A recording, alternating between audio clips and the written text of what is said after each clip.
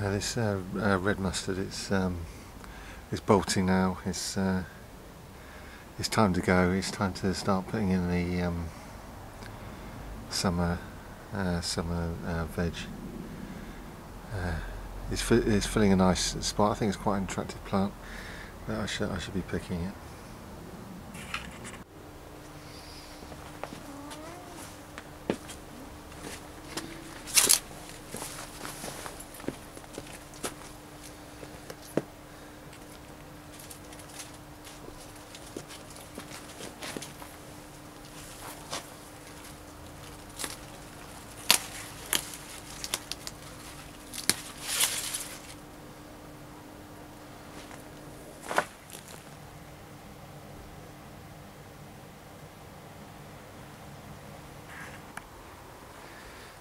I uh, bought these um, dwarf runner, beans from a garden centre.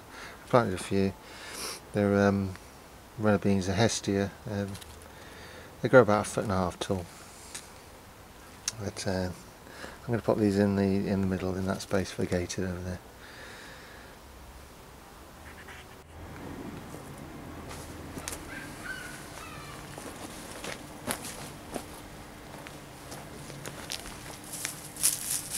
I'm just going to put the, the mulch is all all uh, composted. Compost. So I'm going to move most of the mulch out of the way. And then dig it. And then when I finish, put the um, mulch back on top. What's that? Nail. I'm going to put some uh, extra. I'm, I'm sort of using the, um, in many ways, the um, I'm bunching them quite close together because I want them a little bunch.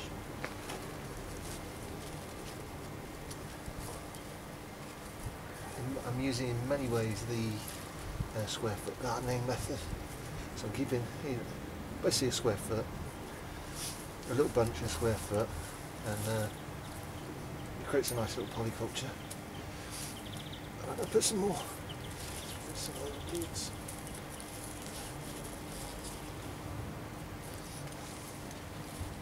Yeah, put some more compost on top. In, in the square foot gardening system, you put a trowel full of compost on as you replant.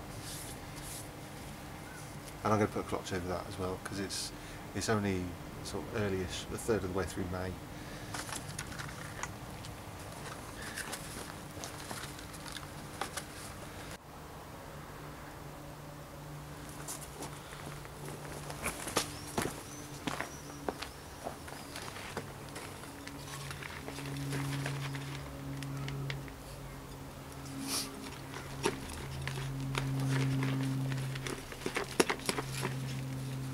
I put a, a couple of um, trowel, trowels worth on because there's a few sticks.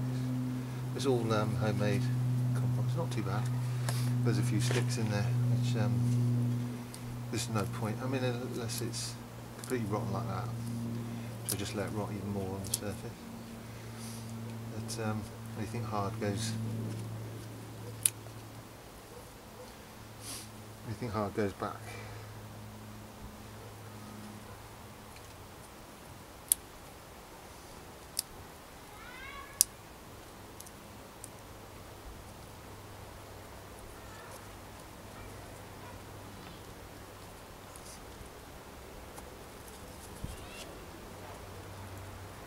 Then a drop of water.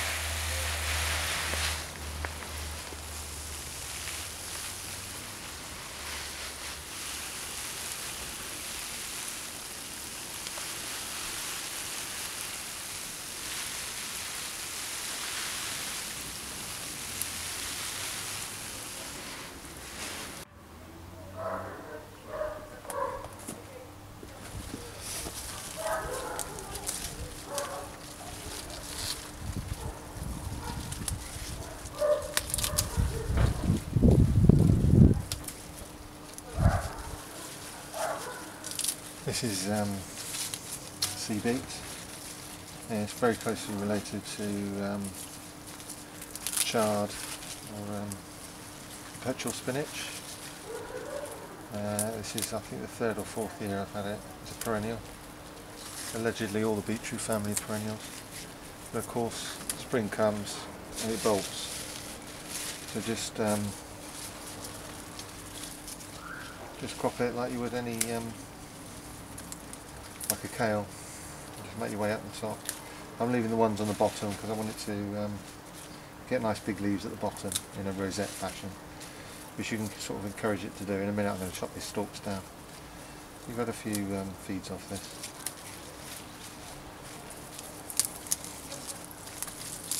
And hopefully it will take a more classic um, sort of rosette style at the bottom once it's been stopped from um,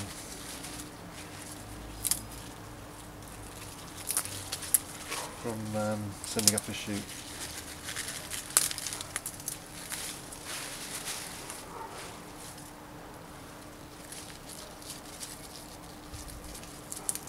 as you can see from this low lying one here, it's not always the case.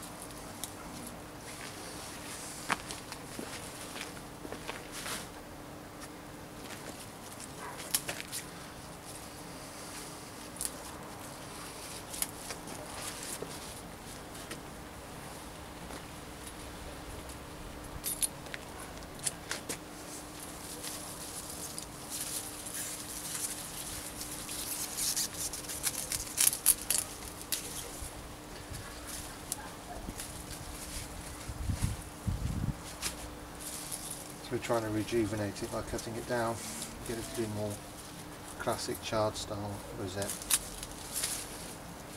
It probably won't work until mid um, midsummer, but let's, let's give it a whirl. I'll also put some more compost beneath it.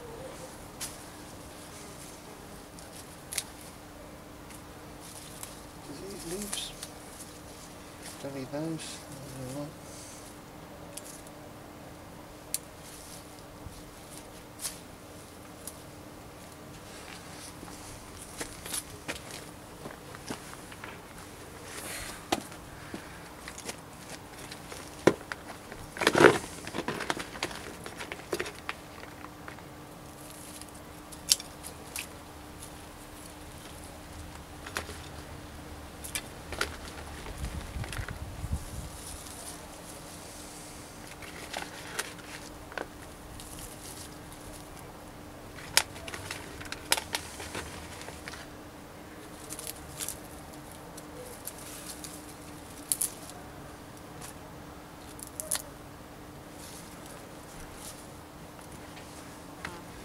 You can see, it's woody at the base. Uh, shows it's, it's, it's perennial. It's been going for quite a while.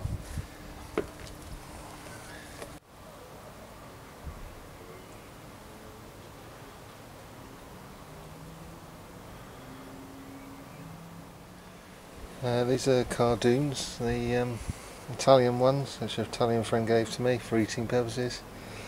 I shall um, I've got some flowering um, alliums underneath, so I want um, uh, to cut the, cut these back and eat them for uh, make a bit bit of light for the alliums.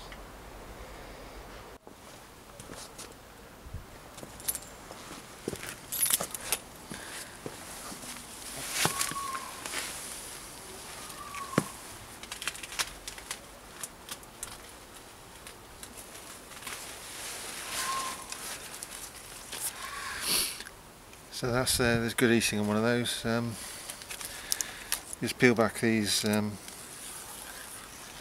ribs, um, cut back the leaves, and cut it into strips and boil it, and then you can put them into tasty stews or batter them or whatever.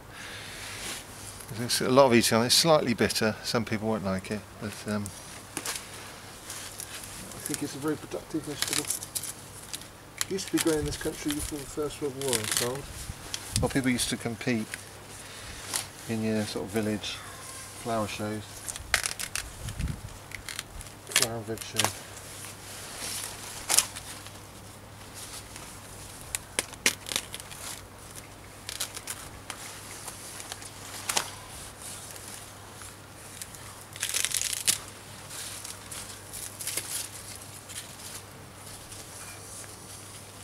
Made a bit of space for, um, uh, for this allium here.